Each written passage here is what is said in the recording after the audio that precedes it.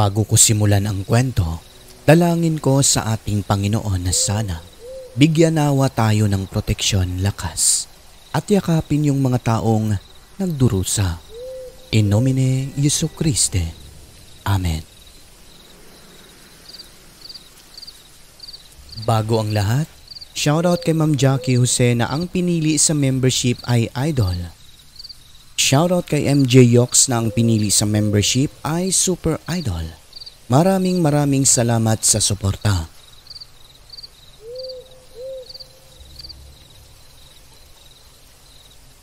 Magandang araw o gabi sa inyong lahat.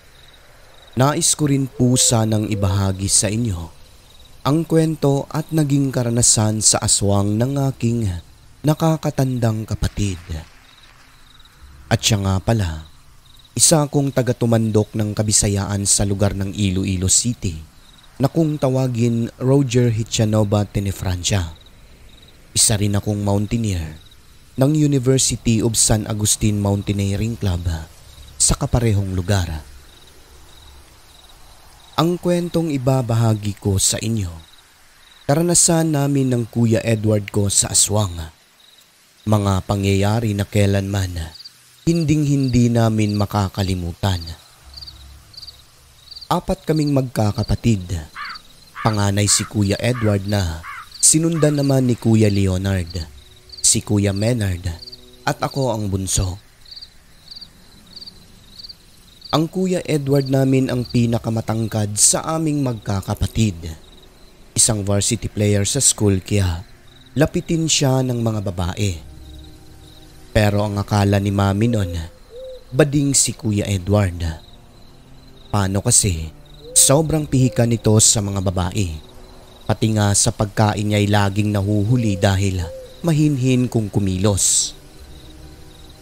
Noong nakagraduate na siya at nakapagtrabaho, sobrang busy na ni kuya.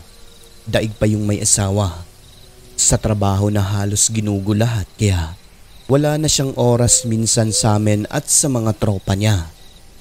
Masyadong seryoso sa buhay kaya sabi namin nun sa kanya, magbakasyon naman minsan at maghanap ng chicks mag out of town kasama ng mga barkada niya para naman makalaya sa rehas ng pagtatrabaho. Ganun na nga ang ginawa niya. Nagbakasyon sila kasama ng mga tropa niya. Matapos ang bakasyon na yon, nagulat kami kasi sa tinagal-tagal ng panahon sa wakas, nagkaroon siya ng kasintahan. Ibig sabihin, hindi bading si kuya at mali si mama. Katagalan nun, ipinakilala niya ang kanyang kasintahan sa amin. Si Lena, magandang babae at isang teacher. Makaraan ang ilang buwan, nalaman namin na nabuntis ito kaya agad silang nagpakasal ni kuya. Matapos nun, doon na sila sa probinsya ng asawa niya parte ng istansya Iloilo na nirahan. Nung una, maayos naman ang pagsasama nila. Nagbabakasyon pa nga sila noon sa lugar namin at kami naman nakapunta na rin sa kanila. Lumipas ang panahon, napansin na lang naming pamilya na hindi na sila bumibisita pa sa lugar namin. Kung hindi ako nagkakamali, taong 1996 hanggang 1997 yon Nalaman namin na may aswang daw sa lugar nila kuya. Pero ang ganyang usapin kahit noon pa man, sikat na sikat na kahit dito sa lugar namin sa Lapas. Hanggang isang araw noon, may nakapagsabi sa amin na mas mabuti raw kung bisitahin din namin sina Kuya Edward sa lugar ng asawa niya kasi baka mabiktima o kaya'y mahawaan daw sila ng sinasabing mga aswang sa lugar na yon. Ganun na nga. Minsan isang araw nagdesisyon akong puntahan si Kuya Edward sa lugar kung saan sila nakatira. Kinausap ko ang aking mga tropa na kung pwede ba nila akong samahan. At yun, pumayag naman ang iba. Pagdating namin sa bahay nila kuya, Nakaamoy kagad kami ng nakakasulasok na amoy Para bang nabubulok na karne at para rin siyang amoy suka ng pusa. Ang ipinagtataka namin noon kung bakit wala sila sa bahay. Yung itsura kasi sa loob, maalikabok na na parang matagal nang walang nakatira. Ganon din sa labas, puno ng malalagong damo. Nang dahil doon, nagtanong-tanong kami sa mga kapitbahay. Pero halos maubos na lang namin ang mga bahay-bahay doon subalit. Wala kaming nakuhang impormasyon kung saan sila lumipat at kung ano ang nangyari sa kanila. Basta ang sabi lang, matagal nang umalis. Hanggang sa may isang ali ang lumapit sa amin noon at sinabing matagal na daw wala si na kuya roon. Mag-iisang taon na. Ayon sa kanya, ang huling kita niya sa aking kuya, masama umano ang pakiramdam nito. Pero habang nakatingin ako sa kanya, nakita ko sa mga mata ng ale na parang may ibig itong ipahiwatig ngunit hindi niya lang masabi. Ngunit sa sinabi niya, agad akong kinabahan kasi baka kung ano na ang nangyari kina kuya. Agad kaming bumalik sa bahay ng aking kuya at pinagtulungan namin ng mga tropa ko na linisin ito. Napansin ko na yung sahig parang may bakas ng mga natutuyong dugo. Pero kung titignan mo ang loob ng bahay, wala namang palatandaan na pinasok sila kasi nasa ayos naman ang mga gamit nila. Yun nga lang, medyo mabaho ang amoy at maalikabok na rin ang loob. Palatandaan na matagal nang walang nakatira sa bahay nila. Simple lang ang pagkakagawa nito. Tipikal na pang probinsya. May silong gawa sa pawid ang bubong, kawayan ang sahig, at sawali naman ang dingding. Pero may part ng sahig na sirana at makakadaan ang tao. Dalawa ang kwarto ng bahay. Yung isa kina kuya siguro at yung isa naman bakante yon. May mga sako pa sa loob na may lamang onting palay ang dingding naman ng kwarto na yon, may mga maliliit na nabutas. Ang palibot naman sa labas ng bahay, puno ng mga punong kahoy at bulaklak. Yun nga lang, puno rin ng mayayabong na damo at malalagong talahib sa mga gilid kasi nga wala ng tao. Matapos naming malinis ang bahay, umuwi ang mga tropa ko. Ako naman, Nagpasya na magstay na lang muna sa bahay nila kuya nang kahit ilang araw pa total may mga damit naman akong dala. At kaya ko naisipang magstay pa roon ay dahil inisip ko na baka mahanap ko lang si kuya sa lugar na yon. At yun na nga, habang andon, nagtataka ako kung bakit malansa pa rin ang bahay nila kuya gayong nalinis na namin ito may mga langaw pa rin na hindi mawala-wala sa umaga hanggang hapon. Nang time na yon, malaki at maliwanag ang buwan. Sa unang gabi, maayos naman ang tulog ko. Dere-derecho. Pero sa pangalawang gabi, habang ako'y nakahiga na nun at maghahating gabi na, ilang sandali nakarinig ako ng kaluskos. Ang pumasok sa isip ko, baka may magnanakaw. Hinanap ko yung ingay at nalaman kong dun pala nagmumula sa ibabaw sa bubungan. Hindi naman hinahawi yung pawid at parang may gumagalaw lang doon. Ang ginawa ko, dahan-dahan akong lumabas ng pagapang sa silong at dun dumaan sa sirang sahig na kawayan. At habang gumagapang palabas, sa tulong ng liwanag ng buwan, nakita ko na may anino na parang sa tao ang naroon sa bubungan. Nakatuwad ito at parang kamot siya ng kamot sa kanyang katawan.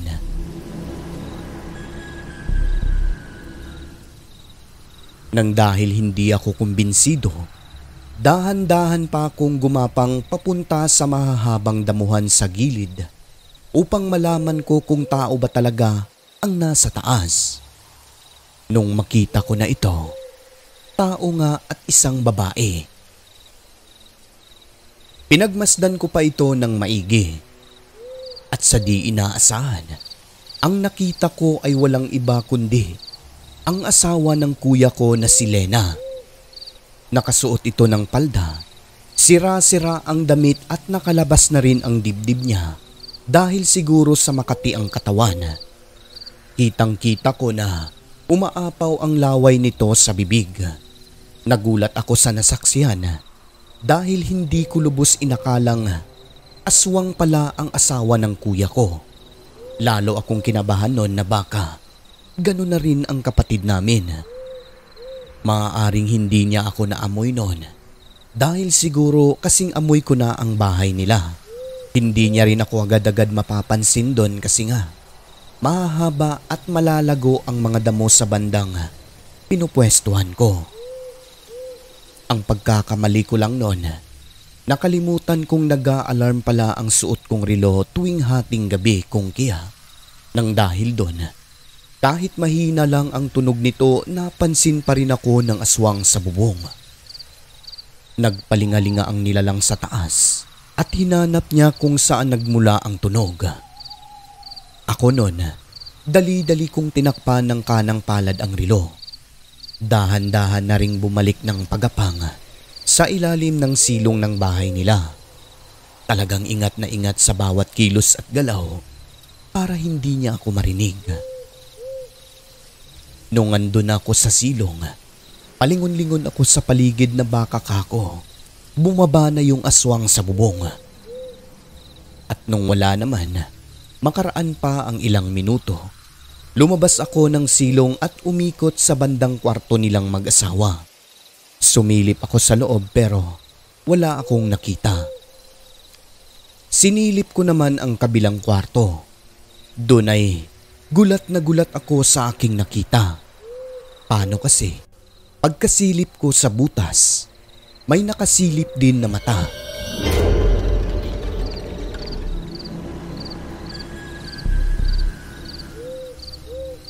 Andun na pala ang aswang na parang ako pala ang pinagmamasdan niya. Sa sobrang takot at pagkagulat, napasigaw talaga ako noon. Yung aswang naman, lumikha ng tunog na parang naipit na baboy sabay kahol at alulong ng mga aso sa paligid. Napasiksik talaga ako sa mga halamanan nila at halos mapanawan ng aking bait ng mga sandaling yon. Makaraan ng ilang minuto, nung tatakbo na sana ako palayo, paghawi ko sa mga dahon, tumambad sa harapan ko si Lena.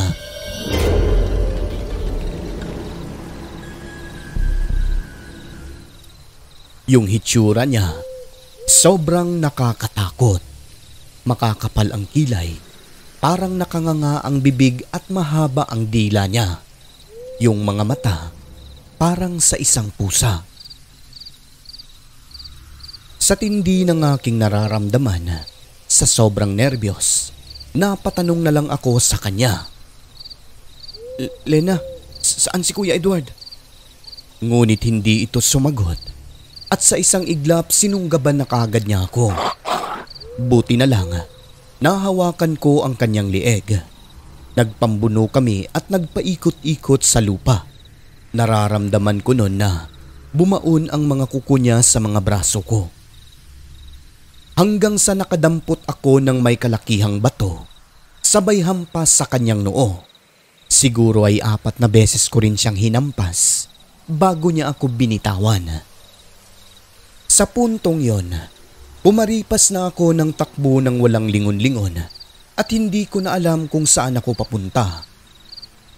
Hanggang sa nakakita ako ng bahay at doon ako nagsisigaw ng tulong.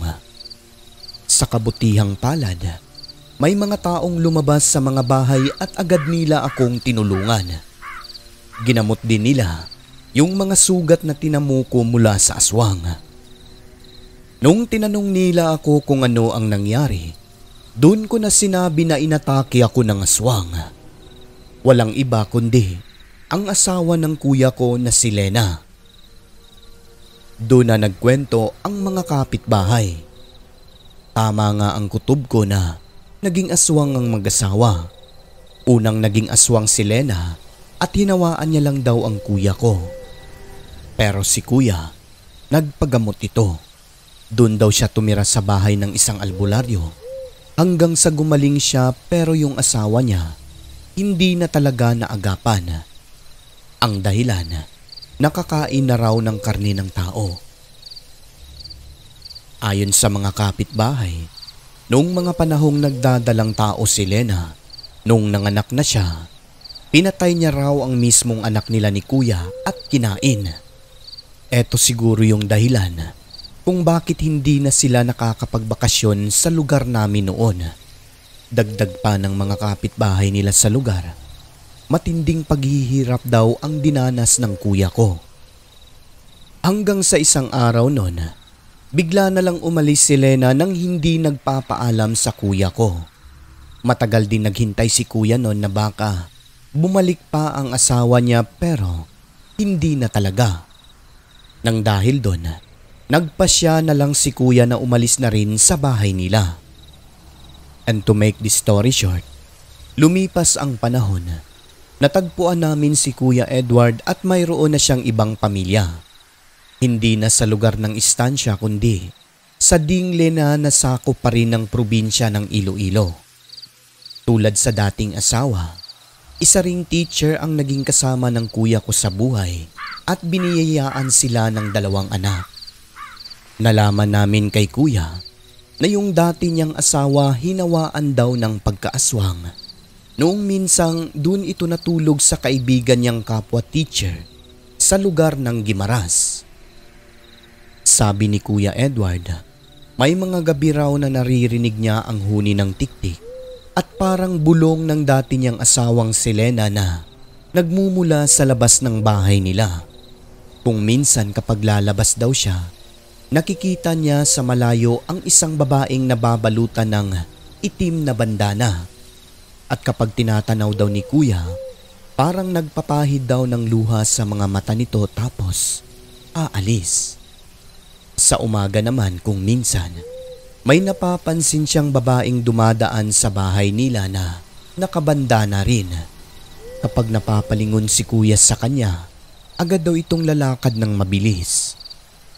Malakas ang kutob ni Kuya Edward na ang babaeng pabalik-balik sa lugar nila ay ang dating asawa niya na si Lena.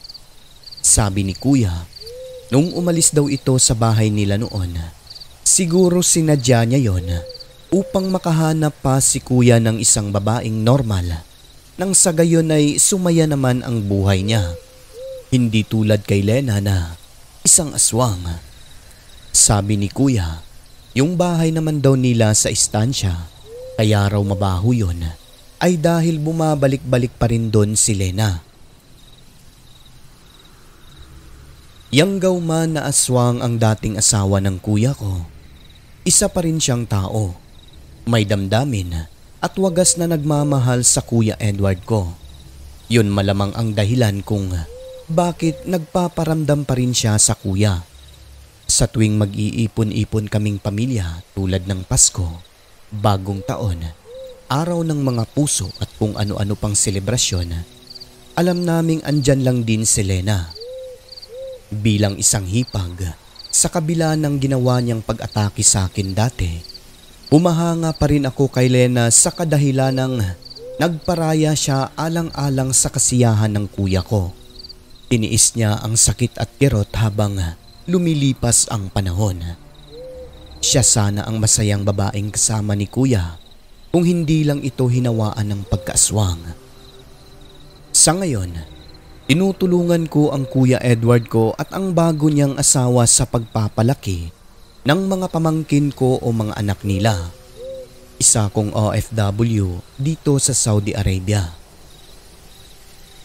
Bago tayo magtatapos, nais ko pong sabihin sa inyo na ang kwentong ito ay base sa totoong buhay at pangyayari. Lahat ng mga pangalan ay totoo rin. Pero sa huli, Nasa sa inyo pa rin kung maniniwala kayo o hindi. Maraming maraming salamat sa nakinig. Lubos na gumagalang. Roger Hechanova Tenefrancia. Ang mundong ating ginagalawan, nababalot ng kahiwagaan na tanging ang Diyos lamang ang siyang may kasagutan. Ako po si Alex at ito ang Southern Mindanao Creepy Experience.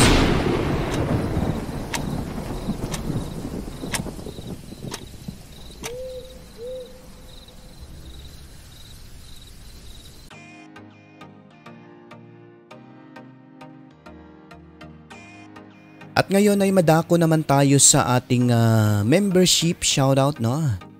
Binabati ko unang-una si Ma'am Len TV na 10 months member na.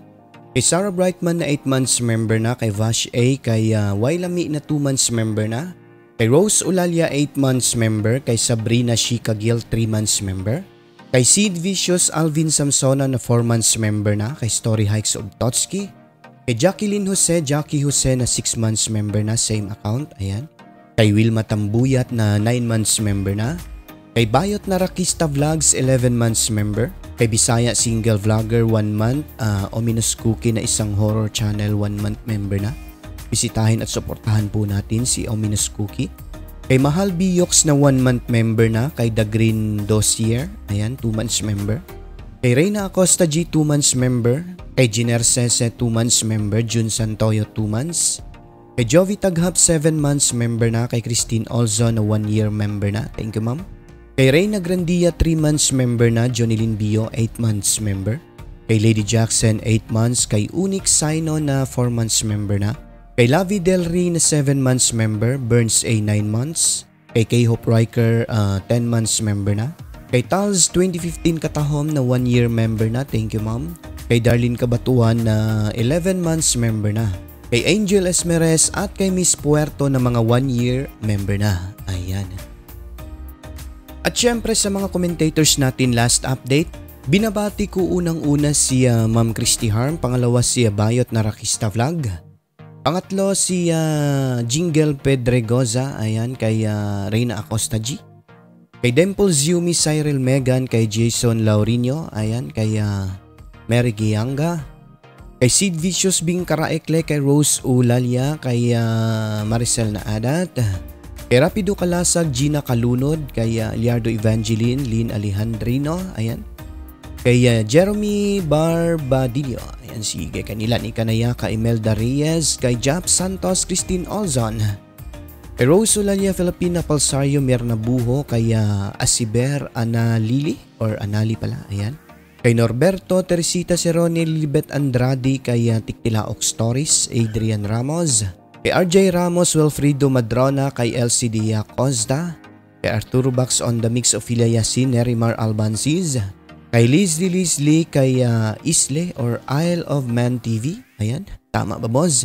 Kay Helda Indimar, ayan, Cherry Kobe, ang ingay ng manok, Kay Wilma Pascual, Arturo Bax on the mix, kaya Dakilang OFW Vlog. Ayan, bisitahin nyo raw yung uh, channel ni Boss Dakilang OFW Vlog, no? Ayan.